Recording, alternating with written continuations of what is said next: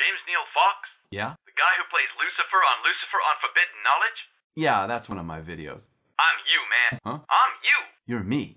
Yeah, I was you, but now I'm saved. Oh. I thought I knew everything just like you do. Uh, hey, I don't think I know everything. And I was smart mouth, the same as you. Well, I'm only that way when somebody's giving me a hard time or being seriously unreal with me, friend. Now, really, I I was you.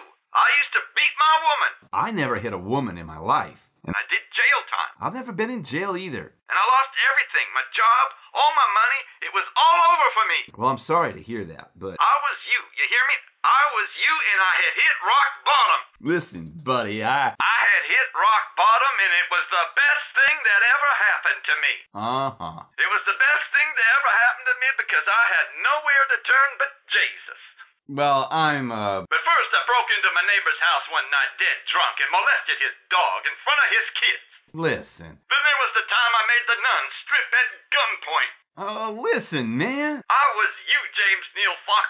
I was out of control. But I killed my boss with my bare hands. The law never caught up with me about that one because that wasn't the Lord's plan. right. Do you know what I made those nuns do that time, do you? I don't want to hear about it. Don't you hang up on me, James Neal Fox. I gotta go. You may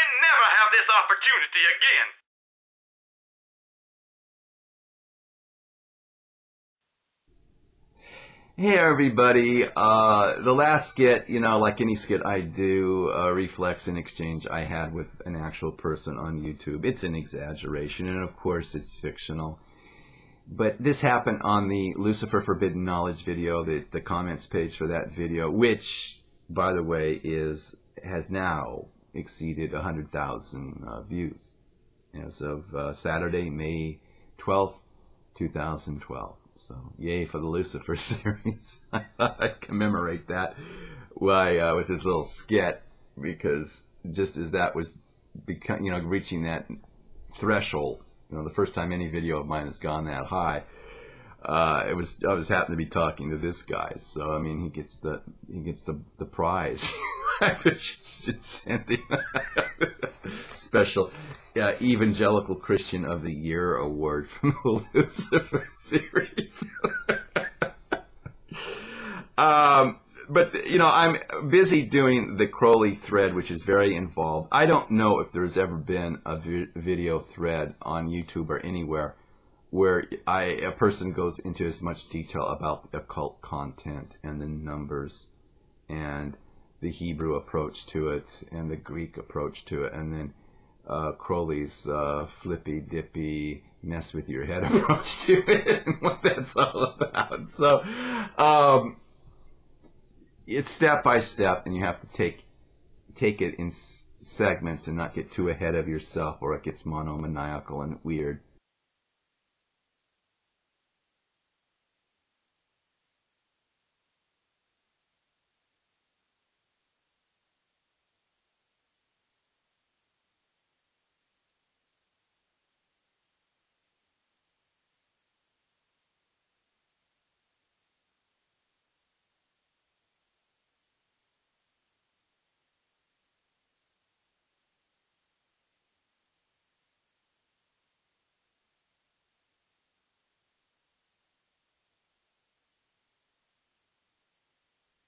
So in the meantime, just to keep my hand in it and to let you know I'm still here, I thought I'd talk a little about morality. Satanist William Draven has accused me of Abrahamic morality, meaning that I'm subscribing to the Ten Commandments, at least insofar as I raised my voice in a video about his glib, casual, chatty approach to Antiochus IV and his uh, atrocities, or rather, talking around his atrocities. And you know, some of you've seen those videos, and some of you haven't. It's not necessary to have seen that video if you're just checking in on this. Okay, I'm just going to talk about what do I think is right and wrong, and I've talked about it a couple of times, you know, in videos, and Draven has certainly just passed it on by. And so, let me talk about in the context of Wicca and Crowley and then you'll know and I'll know and I'll have something to refer to people because boy, you know, man, the whole world is obsessed with good and evil. It's just all that's the whole story. Everyone wants to talk about that. They don't want to talk about higher consciousness or the fact that you know you become a better person as your nature changes just naturally. You don't have to have all those rules. But if you do want to talk about rules, then let's talk about the rules, okay? Because society has laws and ordinances, and there's felonies and misdemeanors and ju- courts of justice. And, well, what is it all about? Okay? So let's just talk about uh, the law, you know, the book of the law. Do as you will, okay? That's a Wiccan maxim that comes from uh, Crowley's uh, do what thou wilt. Uh, don't hurt anybody, don't hurt anybody intentionally. Like I say, communicate with someone when you've inadvertently hurt them and work that out. And if you can't work it out, then respect one another's territory and leave each other alone. And if that person isn't respecting your territory, then uh, then and only then you assume a power ethic. Now you want to call that Abrahamic morality. That that's what Draven is waging against me. And let's keep in mind he was upset about the tone I took. And when you're listening to somebody being confrontational with you, you don't always hear what they're saying. So I don't think he's misrepresenting me. I just think he's reacting.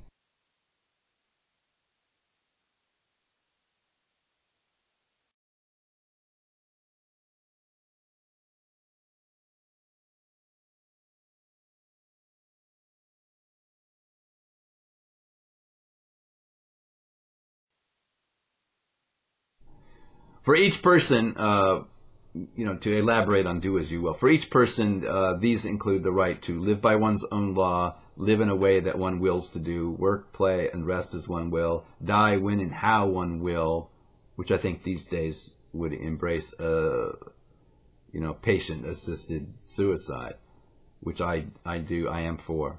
Uh, eat and drink as what one will. I think that these days would include legalizing drugs. I think drugs should be, you know, regulated. I do for health reasons. Okay, uh, for the good of the overall community. But I do think that they should be decriminalized. Live where one will. Uh, move about the earth as one will. Think, speak, write, draw, paint, carve, etch, mold, build, and dress as one will. Uh, love when, where, and with whom one will. Uh, certainly, that includes sexual freedom on every level between consenting adults and in any arrangement they might come up with. And that, of course, includes gay and lesbians and treating them like people under the law. And kill those who would thwart these rights.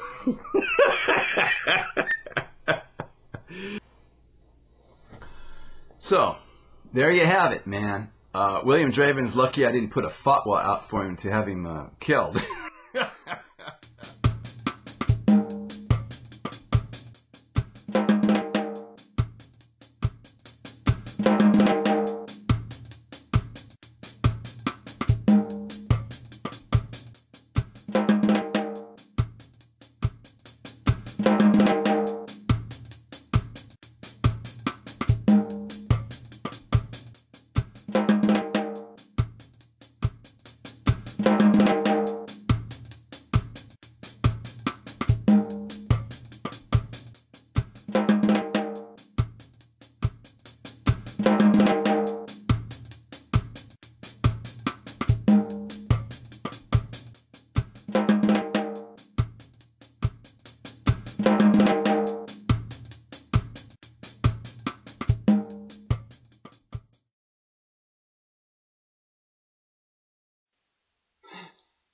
Thelema, true will, is not ego will.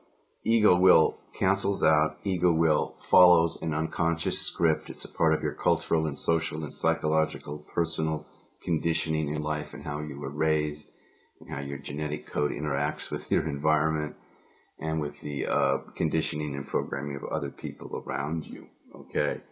And that is not true will and it isn't true freedom. Okay, it's the life of a slave. It's a life of compulsion. Now, and it's the study of it is called behaviorism. Behaviorism is about reconditioning somebody, and beyond that, with Gurdjieff, it's about deconditioning. It's about beyond reconditioning to deconditioning down to the fundamentals, where the blinders are lifted and you have pure experience and in Crowley's term, true will.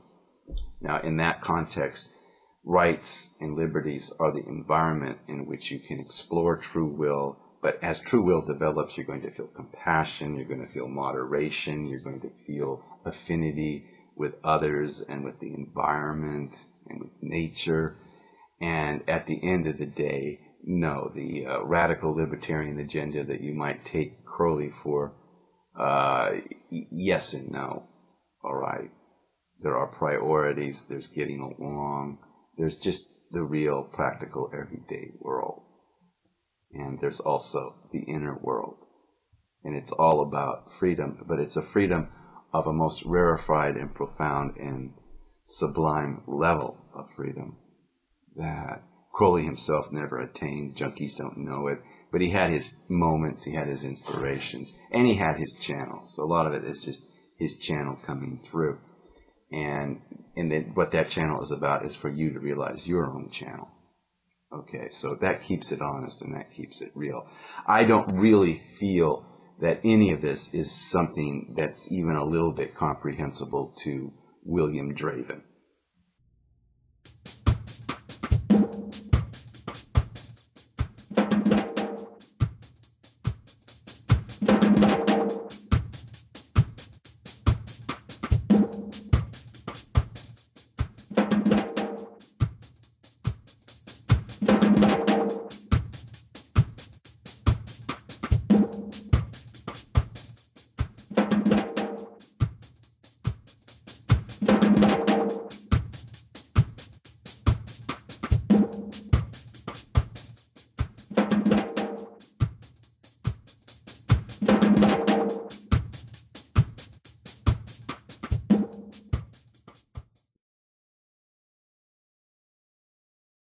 The real question is will, you know, Luciferian Satanism ever be the subject for an actual university discourse? And the answer is, of course, no, no way. Okay?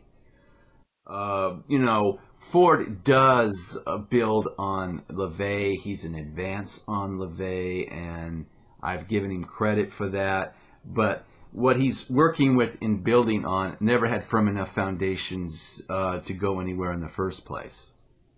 And while the right approach to Crowley and Spare will someday sneak on in through the back door of process philosophy and maybe by extension Luciferian Gnosis with it, uh, no way is uh, Ford's work going to come riding in piggyback on it.